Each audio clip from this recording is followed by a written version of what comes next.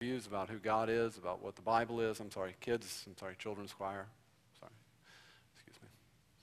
Anyway, so we're, we're going to engage them into reading the Bible and uh, want to encourage you to be reading through the Gospel of Mark and think how you, uh, part of this is you're learning how a way to, to do a Bible study with somebody. A lot of times we, you know, we, I mean, we're, we're the, you know, we're the, let's face it, we're the drive up to one window, order, go to the next one, pick up our food generation. Uh, we, we want things like this, and a lot of times we want a gospel pres- pres- presentation that's going to be, you know, okay, I'll meet you at the door, and, and you're, you know, you get saved now. Now, it's exciting when you get that opportunity to lead someone to Christ. It's always exciting, but it's usually because there's been somebody else who sowed the seed before you ever got there. Um, so we are in the process of sowing, and at times God gives us the privilege of reaping, and we like the reaping process, but we also should like the sowing process. All right, so it's a great opportunity as you go through the Gospel of Mark uh, to engage in thinking through it. And, and really, I understand, Mark wrote his, I mean, the Gospels are written uh, to expose people to Christ. And Mark wrote and recorded the events to, to really engage an audience as he's writing to them into who Jesus is, why Jesus came, really what's it all about. And so we get into the mission, the, you know, the identity of Christ being brought forward, the mission of Christ will be brought forward, and then the calling of Christ, calling people to come and follow, and what it means to be a disciple, and ultimately what I mean what salvation means, discipleship means. All of it's being spelled out through the Gospel of Mark. So uh, we look in the Gospel of Mark in just some simple questions, and you should have read through Mark uh, chapter 3 up through chapter 5, and we see these various events. And as you see the events recorded, Jesus calming a storm, Jesus healing a man who's, who's been possessed by a demon, uh, Jesus uh, healing somebody who's sick, and then coming to raising the dead. I mean, these uh, is just tying back to what we've already seen Jesus' authority. And that's really what he's bringing forward to us. We're seeing his authority over. So if he can calm a storm, he has authority over what? Over all nature, okay? I mean, he's in control. I mean, he is sovereign over nature. He, is, uh, he can heal the demons, so he has authority over all the demonic cohort. That's why the Bible would say if you draw near to God, the devil will flee far from you, okay? Uh, so he has all authority over the, uh, the, all the demons. He, he heals the sick, so he has authority over the physical body, over the well being. He, he can raise the dead, and then now we're elevating everything, right? He not only has authority over sickness, he has authority over life and death. And so we, we see the elevation, and really, uh, it's all focusing in on the identity of Christ and the, the claims of Christ and what Christ has for his, his, his remember, we, we know the, the, the Great Commission, he has all authority in heaven and earth. And throughout his life, he demonstrated that authority, to, authority over everything. Uh, and so, all creation, he demonstrates his authority. Of course, the climactic mi- miracle in that section is the raising of, of, of Jairus' daughter.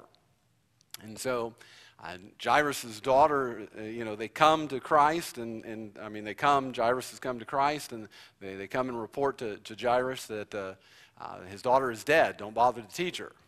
So, how does Jesus respond to that? You look at verse 36 in chapter. All right, he tells him, Don't be afraid, just believe. I mean, it's a pretty incredible statement, right? I mean, you think about it. He tells him, Don't be afraid, just believe. And the question that some would ask, you know, and in, in, in, the, I like this question in the, in the Christianity Explored. I don't know if I have it right there. Is that it? Yeah, all right. So the question is, is reasonableness of the request. You think about it. The report comes, she's dead. Don't bother to teach her anymore. Jesus said, Don't be afraid, only believe. Well, that's quite the statement, right? Believe what? Well, the implication is believe what? Believe in him because she may be dead, but he can do something about this, right? I mean, that's the implication stated in there. Now, when we talk about it reasonable, then you're kind of drawn in to say, okay, we look at all the authority, the things Jesus done, you might conclude maybe he can. Here's one of the realities faith is only reasonable for those who have their eyes open to see it. Okay?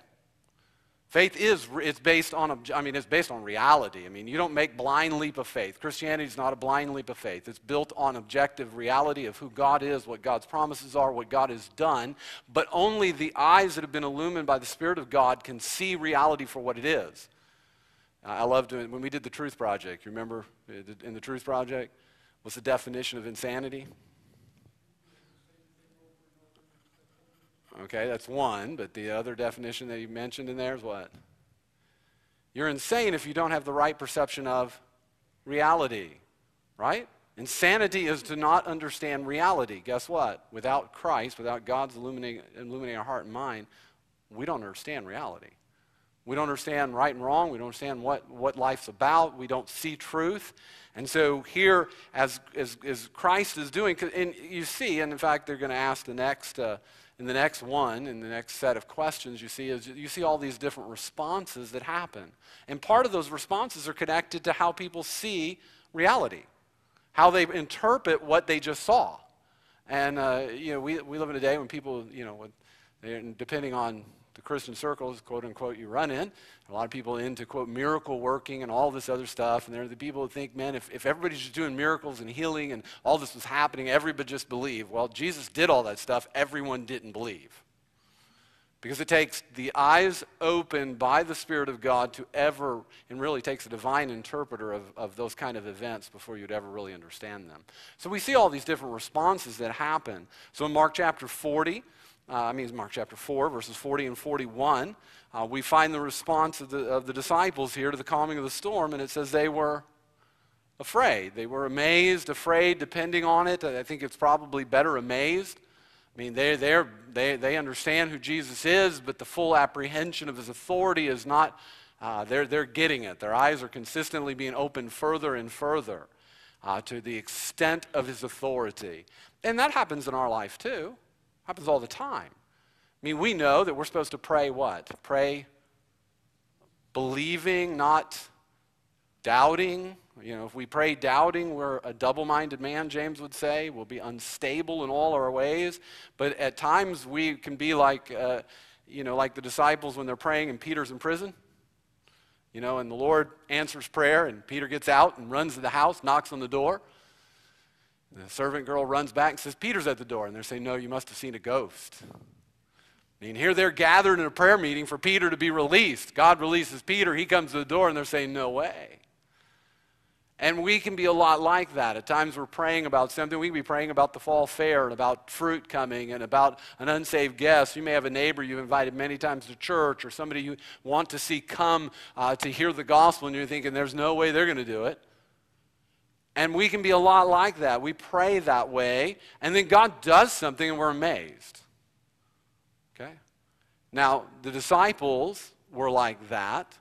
Their perception, their understanding continues to expand and who Christ is and the extent of his authority, we see their response to it. In chapter 5, verse 15, we see the response of the people, the crowd. When the demon possessed man is healed, again, they're afraid. I don't know what to make of this. One with that kind of authority and power. Uh, the woman is healed. The woman who has faith, she responds in faith to Christ when he confronts her and says, you know, I mean, she's come and she believes she just touch his garment and she's healed. And she is, and Jesus said, Your faith has made you whole. Jairus' whole family, Jairus, sorry, his whole family is amazed uh, as Christ works in this situation, raising their daughter from the dead. Look back at chapter 2. I'm going to read verses 1 to 12, chapter 2. And when they had returned to Capernaum after some days, it was reported that he was at home. And many people gathered together so that there was no room, not even at the door. And he was preaching the word to them, and they came, bringing to him a paralytic, paralytic, paral, I can't even pronounce here. Yes, a paralytic. Thank you. Carried by four men. And when they could get it, they could not get him near because of the crowd, they removed the roof above him. And when they'd made an opening, they let down the, the bed on which the paralytic, I can't say that word, sorry. Yeah, there we go. Paralytic. Yeah, the sick guy. Yeah, the guy who can't walk. Thanks, Richard. And when Jesus saw their faith, he said, Oh, there we go. Good. That's the one I'm tripping over all night. You just say it, fill it in. You know what it is. Uh, your son, Son, your sins are forgiven.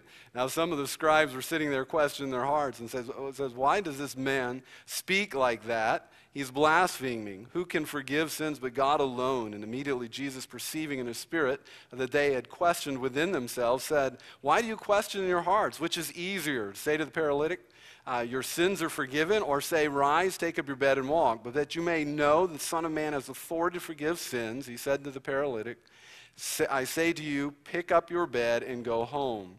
And he arose and immediately picked up his bed and went went before them all, so they were amazed and glorified God, saying, We've never seen anything like this at all. And so we find in this account the huge crowd is there, and, and they're there. Why is the crowd there? And you read the first chapter, hopefully, right? What's been going on? Everywhere Jesus is going, what's happening? He's healing. He's healing, and everywhere he's going, he's healing. The report is Jesus is back in Capernaum. Everybody comes, everybody's bringing their sick, everybody's crowding around, and so here's the lame guy and his friends. And they're coming and they want to get to Christ, right? They're coming to bring their friend. And why are they coming? Yes.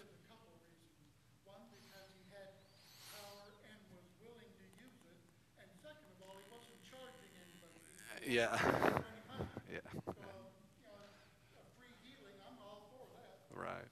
Well, there's, there's a lot of mixed motives, but they were coming because they, of the healing going on, right? I mean, there's a healer. Jesus is healing. People are amazed. They're not what to, sure what exactly to make of it. They're trying to figure out who this guy is. Where does this power come from? Uh, but all they know is people are being healed, and this guy teaches like nobody else we know. We're hearing reports about this, so it's spreading. So Jesus' fame is spreading. Word is traveling. It's going to travel fast. I mean, this is not usual fare. I mean, Jesus is healing and people are being healed, and so the word is spreading, and people are obviously talking about who this might be. There's grumbling. I mean, there's, there's people talking, could this really be the Messiah? That undertone is there. People are, are coming to see it for themselves. And so, I mean, everybody in, in the area is showing up. And so it's not hard to picture the scene with the house overflowing, no room to get in. And so they, these guys bring their friend because they bring their friend because they've heard about Jesus. All they've heard about Jesus, we don't know. But apparently, it's quite a bit because Jesus is going to say something about faith, right? So they've heard, uh, and they, they're the, all that's going on about this being a Messiah, and, and all that undertones is out there. And so they're coming, and they're coming with the hope that Jesus would heal their friend and theologically, how they made all the connections to, to sin and sickness and all of that. Um, I, you know, what exactly they, they were thinking there, we're really not clued in on. But when they begin to, they let their, their friend down, what's the first, what, how does Jesus then uh, address him? What does he say? Son, your sins are forgiven. Now, please understand, Jesus is not saying that you're lame and on this mat because your, your sin has caused this. But now all, all sickness is a result of we live in a sin cursed world. Okay? Because we live in a sin cursed world, sickness comes. Now, that doesn't mean when you get sick, God's punishing you for your sin by that sickness. We live in a fallen world, and our bodies are impacted by living in a fallen world. So we get sick, we face all kinds of things from, uh, from the paralysis or from cancer to all the different kind of diseases that come as a part of living in this fallen world. But Jesus addresses the greatest need, right? And here's one of the things we live in a day today where we're all a lot of you know uh, a lot of social action takes place, and, and there's good cause to be socially active to help people in need. But a lot of times that gets confused with the nature of gospel ministry. Okay, people's greatest need is to know Christ. That didn't mean they don't have physical needs. It didn't mean they don't have practical need help. It didn't mean that you can't help people in practical ways and can't serve in that way. Those are all good things to do. But if we do those at the negligence of the gospel, we help people not at all. Not really. In fact, we get it all confused when we put a priority in the wrong place. Jesus is communicating a priority here. Your, per, your person's, this guy's being let down. He's been paralyzed. How long exactly? Not sure. He's paralyzed. And so he's been paralyzed. His friends are bringing him. They're hoping Jesus can heal. He's obviously hoping Jesus can heal him. And they're thinking to themselves, and maybe based on Jesus' statement, uh, I would guess that this paralytic has concluded that Jesus must be the Messiah if he has this kind of power. And he is hoping the Messiah will have compassion on him. And Jesus addresses his first and greatest need, which is a reconciliation in a relationship with God. And so he announces his sins to be forgiven. And obviously, Christ, and one of the things that is often missed in all this miracle, we see the healing, we see all that. You notice the, the response of the Pharisees right away is what? You're blaspheming, right? You're a blasphemer. You're forgiving. You, you can't do that. Only God can forgive sins, right? And what does the text tell us Jesus did?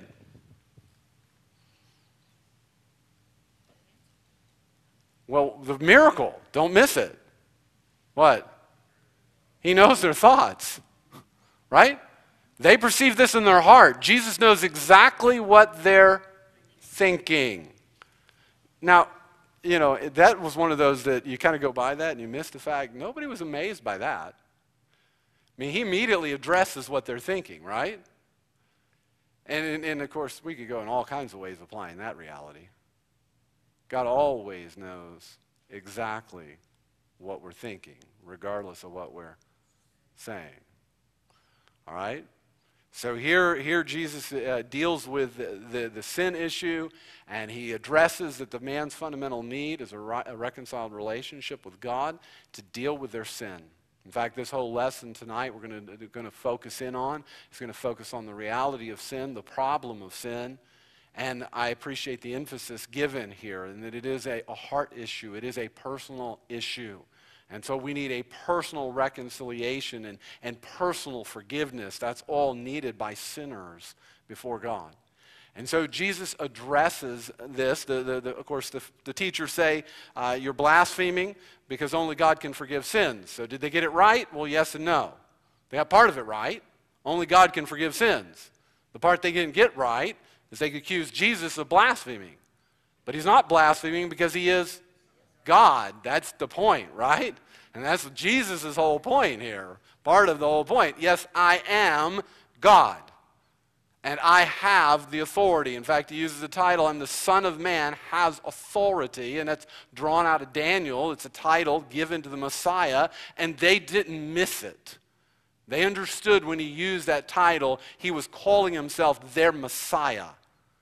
That he is God of very gods. He is the, the promised one of God, the promised Messiah who has come, who has authority to forgive sins. So don't let anybody ever tell you that Jesus did not make it profoundly clear during his earthly ministry that he was God. Jesus made it profoundly clear. The Jews did not miss the point. They understood exactly what Jesus was saying about himself. But it also reveals the fact that information does not change hearts. Only God can bring life to that which is dead. God must open eyes to see. Because they saw the miracles, they were in the presence of Christ, they understood what he was saying. But they did not, they did not all believe, obviously. And so the teachers of the, uh, of the law made this, and then the, the, obviously the clear indication here is does Jesus have the authority to forgive sins? Absolutely. And that's a very important issue when you tie it all together. The whole flow here is the fame is spreading because Jesus is healing. Jesus does not want this to become about healing, it's about the gospel. And the gospel message is you must repent and believe. You must turn from sin and believe that the fundamental issue is man's. Because if the fundamental issue was healing and getting rid of that, folks, he could have ended all sickness during his earthly ministry.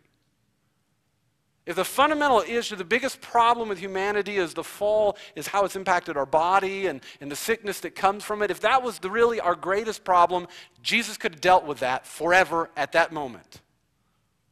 But he didn't because it's not the fundamental need. The fundamental need is sin. And he came to highlight that and to be the answer for sin forever. He came, even as our text this morning said, he came in the likeness of sinful flesh, though not a sinner, for sin, to deal with sin. And he condemned sin in the flesh. That is, he took sin on himself on the cross of Calvary. And he dealt with sin once and for all. And so this topic of sin is very fundamentally important. As you're sharing the gospel, folks, listen to me. You have to deal with people being sinners, and they have to understand that before they can ever be saved. Repentance is a part of the gospel. Apart from turning from sin to God, no one is saved. The half gospel that is so dominant in our culture today, just believe in Jesus and add Jesus to your life or you know get all these benefits Jesus and all of this does not deal that does not adequately deal with man's sinfulness is not really the gospel. Jesus came to deal with sin. And he exposes sin. And he shows fundamentally here, I have authority to deal with sin. That's good news because all of you are sinners. That was the point. All right, go ahead, Kevin. We're going to look at this lesson on sin.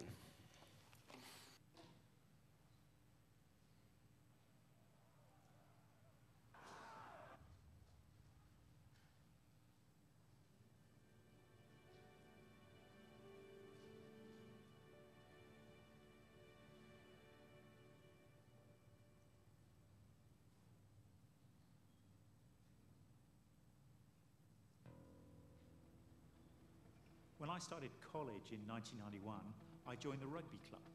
It was quite competitive, so I was sent a strict summer training schedule, which I immediately put in the bin.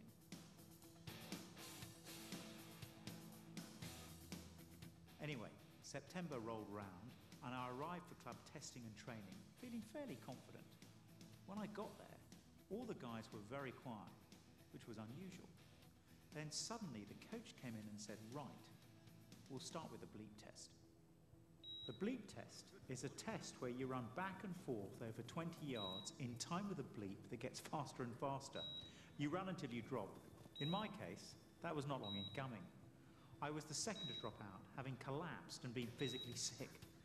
Next, we had to strip down to our shorts for the so called fat test. Why not leave this part of the story to the imagination? Basically, the fat test is when your fat content is measured by this contraption that pinches the flesh all over your body. As it turned out, there was actually one other person who had an even higher percentage of body fat than me. We became firm friends. Well, flabby friends, really. The results of all these tests were recorded and publicly announced, and it was extremely humiliating. Eventually, when all the tests had been completed, the coach got us all together and said, Well, it's not comfortable but at least we found out the truth on the training ground before the real questions get asked during a proper game. Sometimes we experience things in life that give us a shocking dose of reality, things that expose us in an extremely uncomfortable way. But as our coach said, it's better to find out the truth about ourselves while we still have time to do something about it. We've already explored who Jesus is. The question now is why did Jesus come? Did he want to bring peace on earth? Was it to heal disease and end the sufferings of the world? Did he want to transform society and give us an example of how we ought to live? According to Mark, although there's an element of truth in all those options, they're not the main reason Jesus came. When we look at the world, there's so much to marvel at. But who can honestly say the world is all good? Estimates vary, but histories of the 20th century suggest that at least 100 million people died violently in those 100 years. That is 2,400 violent deaths every day. The question is, why is the world like this? Jesus tells us the uncomfortable truth in Mark's Gospel. He insists that the reason there's something wrong with the world is because there's something wrong with us.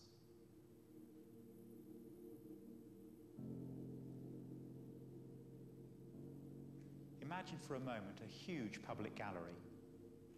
On display for the whole world to see is the story of your life. It's a complete and truthful account, not only of everything you've ever said and done, but also of every thought that has ever crossed your mind. Nothing is edited out. Everything is here for everyone to look at. Now, I'm sure there'd be lots that you'd be relatively proud of loving relationships, real achievements, acts of kindness, moments of generosity, perhaps a flourishing career. but there would also be thousands of things you'd want to keep out of the public eye. Which bit of the wall would you most want to cover up? Maybe it's something nobody knows, not even your closest friend. And it's not just the things we've said, done, and thought that are a problem. There are the things we should have done and the words we should have said.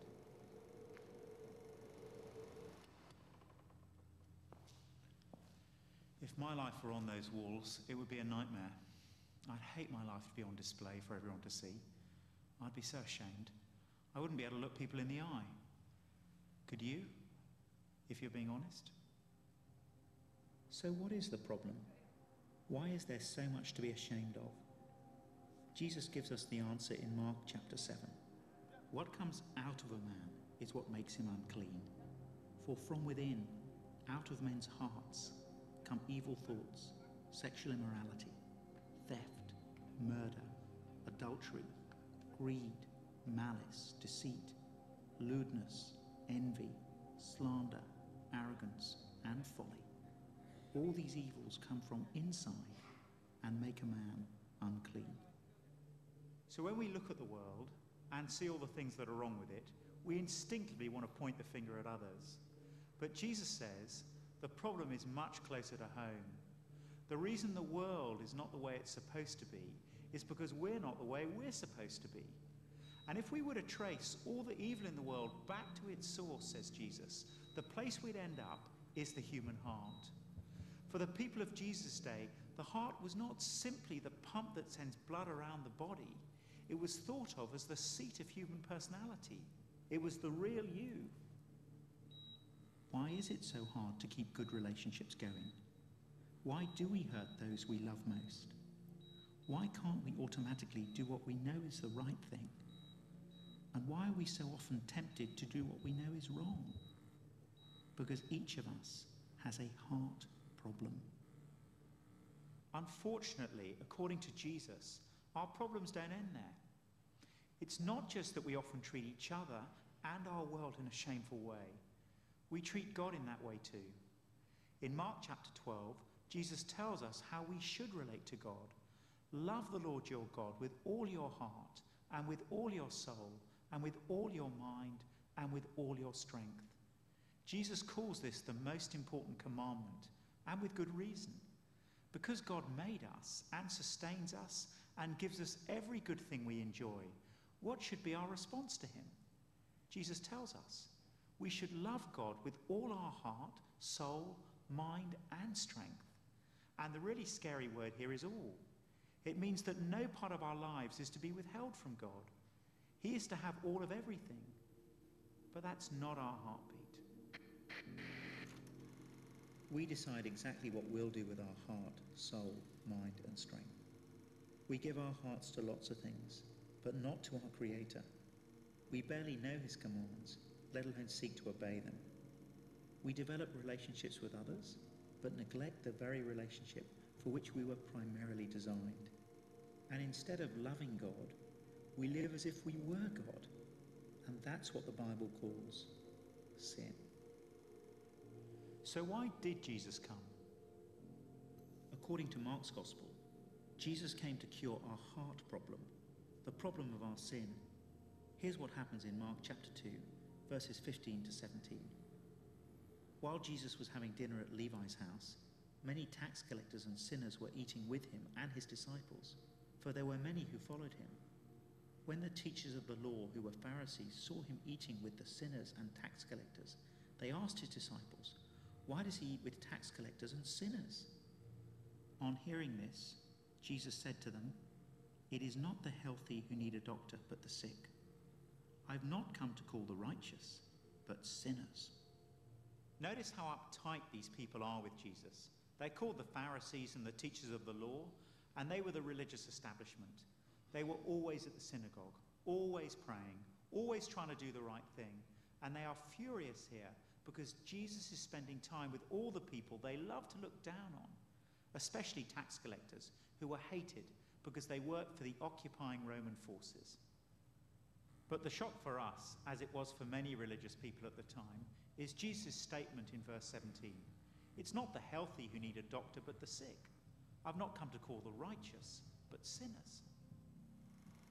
You see, Jesus knows that when we look at our world and the state of our hearts, no one can seriously claim to be righteous. No one has managed to love God with all their heart, all their soul, all their mind, and all their strength. If we were able to live like that, there'd be no reason for him to have come at all. No, says Jesus, I haven't come to call people who think they're good, who think they've nothing to be ashamed of. I've come for people who can see what's going on in their own hearts, people who realize they're desperately in need of a cure. If that's you, then I hope you can begin to see why Mark describes Jesus as good news. The qualification for coming to Jesus is not, are you good enough? It's, are you bad enough? He's come for people who realize they're bad, not for people who think they're good. That's the real reason Jesus came. And isn't it ironic that these religious people who think that their hearts are perfectly acceptable to God are the very ones who end up plotting to kill Jesus? So Jesus says, I've not come to call the righteous but sinners. But why did Jesus feel the need to call sinners at all? For the answer to that question, we need to look at the most disturbing verses in Mark's Gospel, chapter 9, verses 43 to 48. It's here that Jesus tells us just how serious our heart problem really is. If your hand causes you to sin, cut it off. It is better for you to enter life maimed than with two hands, to go into hell where the fire never goes out. And if your foot causes you to sin, cut it off. It is better for you to enter life crippled than to have two feet and be thrown into hell. And if your eye causes you to sin, pluck it out. It is better for you to enter the kingdom of God with one eye than to have two eyes and be thrown into hell, where their worm does not die and the fire is not quenched. I was in Australia visiting a friend, and he took me to a beach on Botany Bay. So I decided I had to go for a swim. I was just taking off my shirt when he said, What are you doing? I said, I'm going for a swim. He said, But what about those signs? I said, Oh, don't be ridiculous. I'll be fine. He said, Listen, mate, 200 Australians have been killed by sharks. You've got to decide whether those signs are there to save you or to ruin your fun. You're of age, you decide. And with that, he walked off down the beach. When we hear Jesus' words about hell, we have to ask ourselves, why would he talk like this? Is he trying to manipulate us? Trying to scare us just so he can gain control of us? Or is he giving us a loving warning?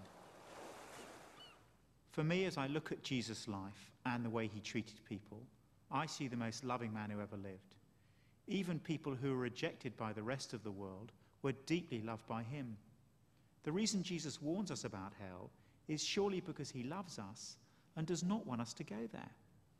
He knows that if we reject God throughout our lives, then ultimately God will be right to reject us.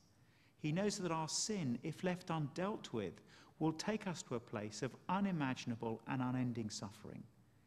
He warns us because he loves us. But here's the problem Jesus is not giving us the cure for our sin when he talks about cutting off a hand or a foot or gouging out an eye. Even if we were to do that, the knife would never go deep enough. It would never get to the heart of the human problem, which is the problem of the human heart. The urgent reality is that our hearts are desperately in need of a cure. And no matter what we do, as history has shown, we cannot cure it ourselves. But that is why Jesus came. As much as I hated the fat test and the bleep test, it was far better for me to be exposed as unfit on the training ground than in front of spectators in a crucial game. In the same way, Jesus exposes what we're really like so that we can respond to him while there's still time. We'll never understand why Jesus came until we see the reality of our own hearts. And if we don't see that, we'll go through life without noticing that actually we are in terrible danger.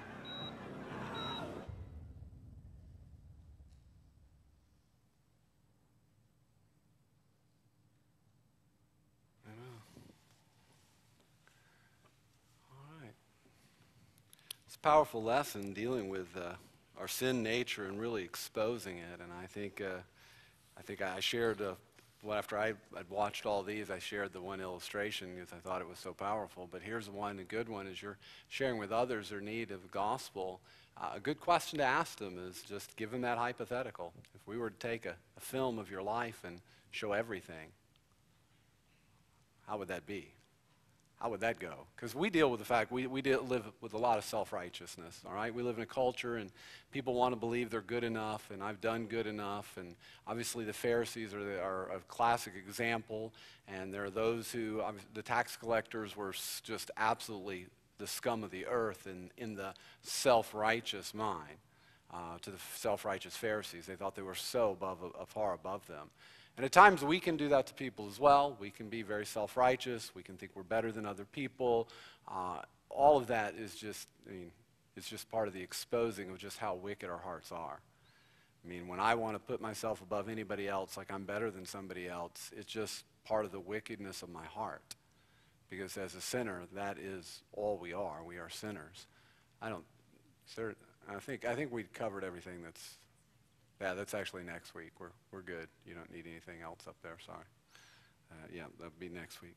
But as we, we, we're going to read through this text and, and read through these passages next week, and our, yeah, this week, and then talk about it next week. But I think it's just a, one, I mean, a tremendous illustration for all of us to think through the issue of sin and how we illustrate it. Because, again, I come back to this reality. Until people understand that their greatest need is a transformation of their very nature.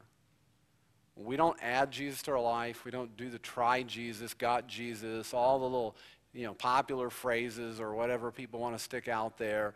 The reality is, is we are our problem. And our hearts have to be transformed by God himself or we're going to hell.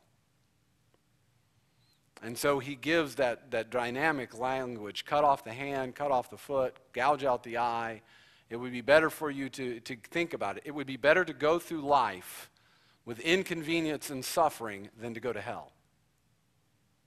That's what he's saying over and over again. Look, it would be bad to live with the life without vision. It would be bad to live life without your feet or without your hands. And, and there are people who are born that way, are, are blind, etc. And they have, they, accidents happen and they go through life with all that kind of, uh, of suffering part of their life. And Jesus is just saying, look, you would be better off to live all of your life with that kind of suffering, with that kind of trial, than you would ever be to be whole. Live life like this life is about you enjoying all your hands and feet and eyes can do and spend eternity in hell. This life is a vapor that's passing quickly. Hell is forever. And I love his language, and, and this is reality. Jesus is the most loving person to ever live the earth. He is also the one in your Bible that talks the most about hell. So don't ever let people sell you that line. You shouldn't talk about hell.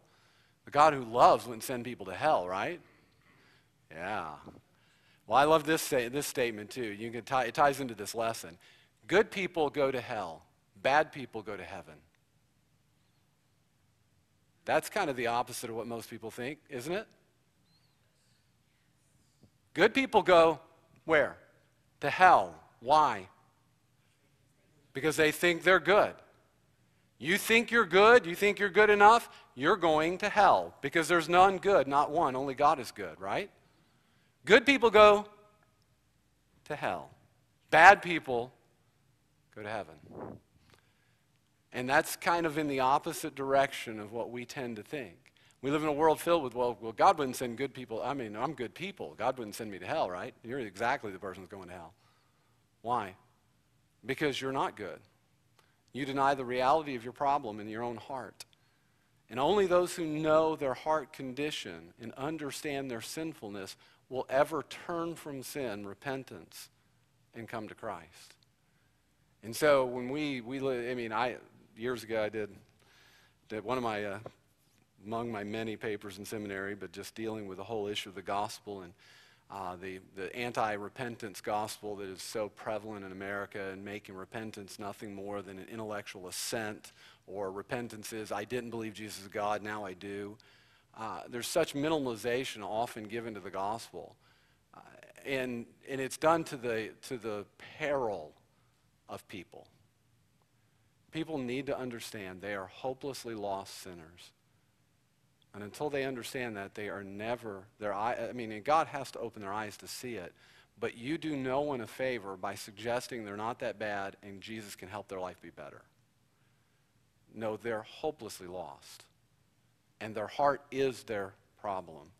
And until they come to Christ and fi- until their eyes are open to see it, their eyes are never going to behold really the good news. And I love the fact he said it this way too. Jesus is presented throughout Mark's gospel as the good news. Or to borrow from a book we did in men's Bible study a few years ago, God is the gospel. The gospel is good news, not in the sense of way it's often presented, your escape card from hell. The gospel is good news because through the gospel you come to know God.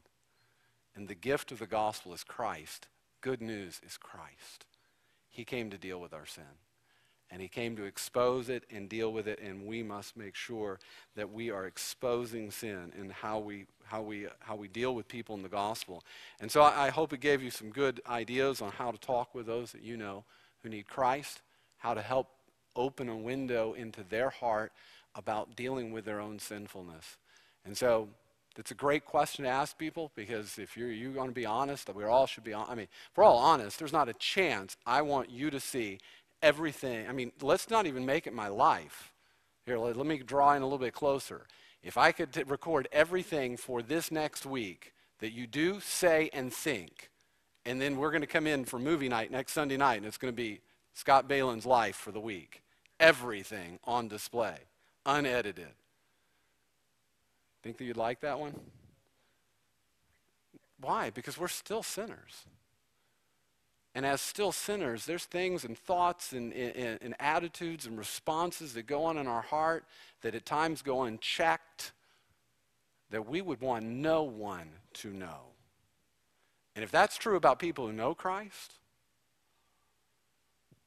I mean, I, I, I mean, I know what you know what I struggle with in my own in my own actions and attitudes at times.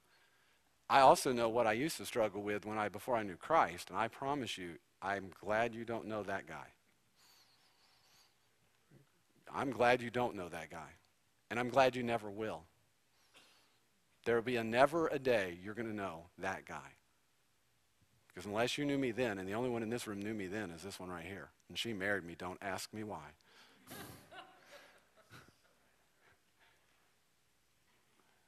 but you didn't know me then, and I'm glad. And I am glad that my life will never be put on that kind of display. But you know what? Jesus Christ's life could be. He lived a life on this earth with sinners. Everything he ever did, said, thought could be recorded and displayed because he was without sin. And that is our high priest who came to deal with sin and to set us free from it. Aren't you glad? Let's pray.